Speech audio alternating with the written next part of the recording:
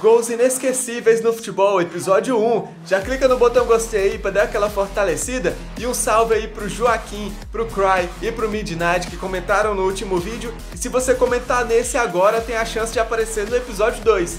E hoje a gente começa com o golaço do Dani Olmo, dando perdido no Delete.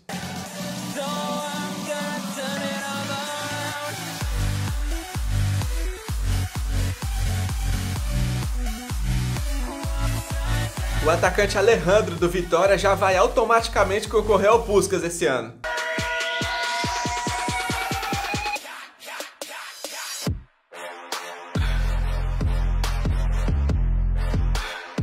Brahim Dias fez o gol da vitória do Real Madrid sobre o Leipzig fazendo fila na defesa.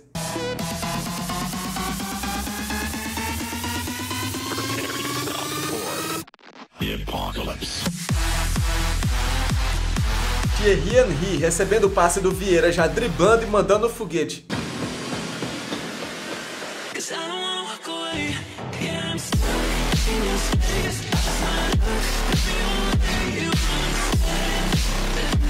O Oliver Kahn estava esperando que o Roberto Carlos fosse bater essa falta até que o Ronaldinho fez isso.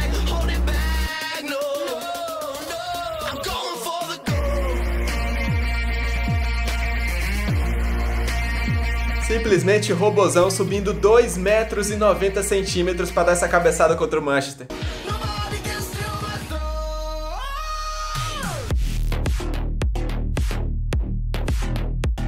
E essa curvinha começa a encaixar na bola para escapar da defesa e entrar no gol.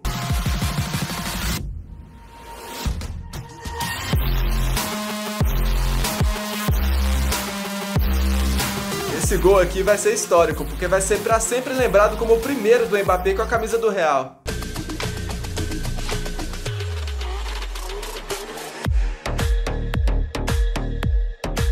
O Mbappé é o jogador que mais se assemelha ao estilo de jogo desse outro camisa 9 brabo aí que jogou pelo Real. Flow like water, so I'm going mainstream. O dia que o Davi Luiz apareceu no ataque e experimentou um chute de quase 40 metros de distância.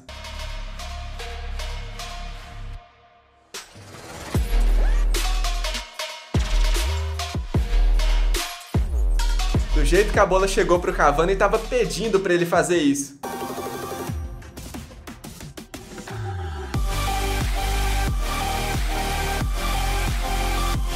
Everton Ribeiro metendo o chapéu e encobrindo o goleiro de uma posição muito difícil.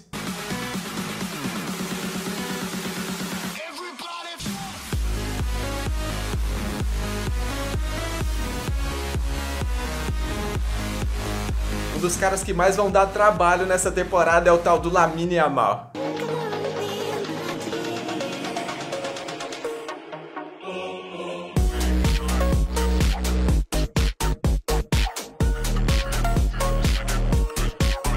Do outro lado do super é o clássico espanhol está Jude Bellingham.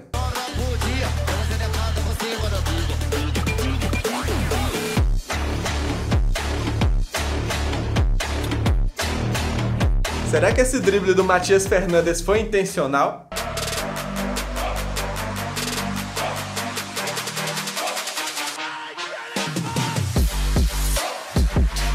Goleiro teve que sair do gol para afastar essa bola, mas ela caiu no pé do Diego Souza, que fez o impossível.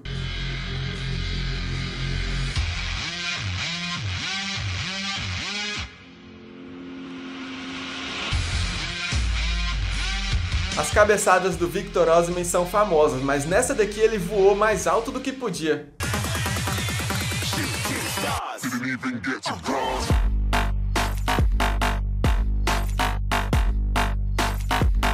Bertrand Traore teve o prazer de deixar dois no chão antes de fazer o golaço.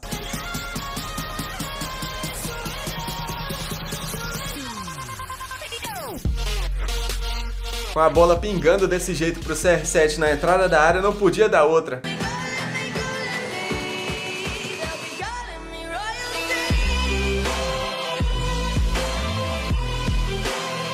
O dia que o Matica acertou bem na coruja e o Kurt Zuma nem acreditou.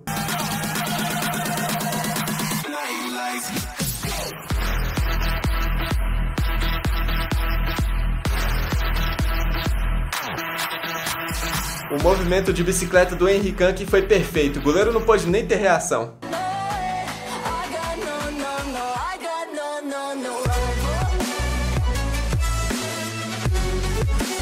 E no caso do Fernandão, que ele ainda meteu um chapéu antes de fazer o movimento.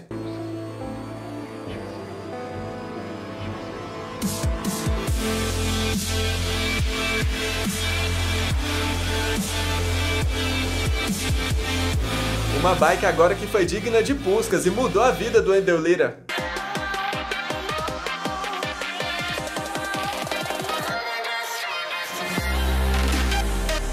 Da época que o Fernando Torres era o atacante mais clínico da Europa.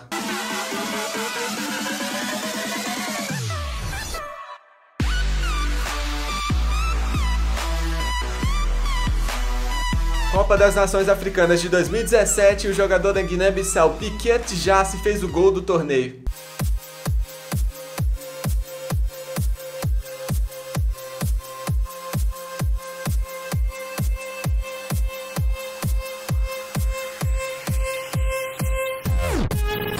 O japonês Kubo limpando a jogada bonita e metendo a chapada perfeito.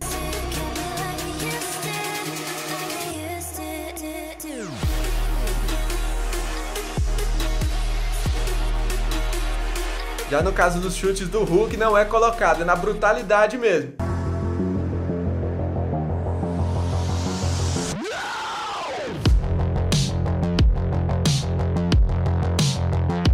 E o Eric Lamela, que teve a marra de mandar uma letra contra o Arsenal.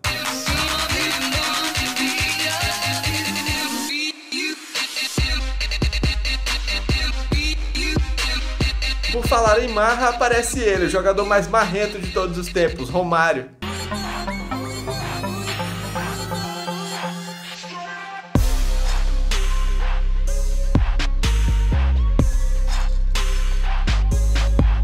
O Michael nem precisou deixar a bola cair para fazer essa pintura.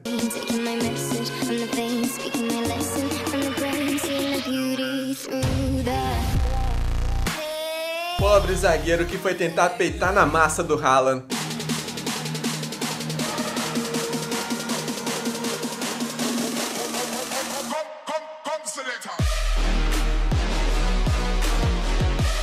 Aquele lance de final do jogo que o goleiro vai para outra área para tentar fazer alguma coisa, mas no contra-ataque caiu no pé do Diego Ribas, que fez isso. Que tinha Anelka, Deco, Lampa de Drogba era pelão demais.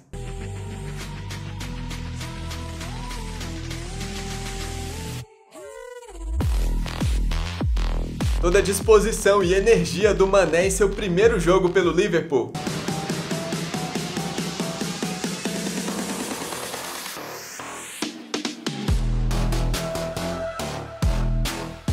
James Rodrigues, quando joga pela Colômbia, ativa o modo Messi.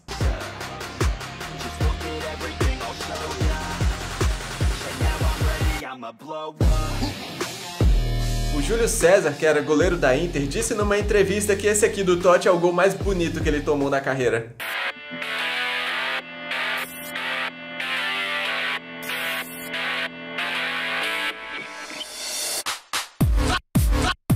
Da época que a seleção brasileira dava medo, as jogadas tinha Adriano, Kaká, Ronaldo Fenômeno, era lindo demais.